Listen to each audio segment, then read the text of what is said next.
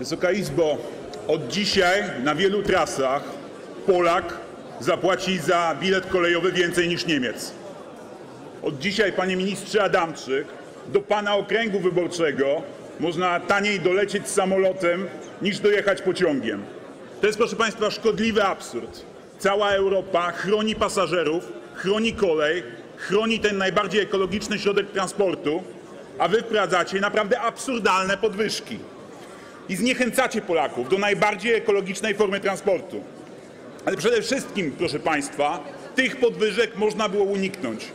Jest gotowy pakiet propozycji posłanki Pauliny Matysiak. Obniżenie dostępu do infrastruktury i zmiany w VAT-ie. Można było tych podwyżek uniknąć, panie ministrze. Ja widzę, że pan jest zdezorientowany i chyba pan nie wie o co chodzi.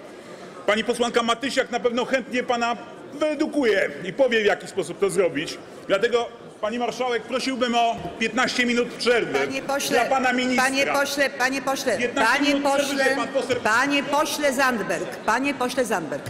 Macie państwo w tej sprawie informację bieżącą, należy do was i w takim temacie. W związku, nie, nie, nie, pan skończył, dziękuję bardzo panie pośle. A powiedzieć, że to jest zdanie. Zdanie, proszę.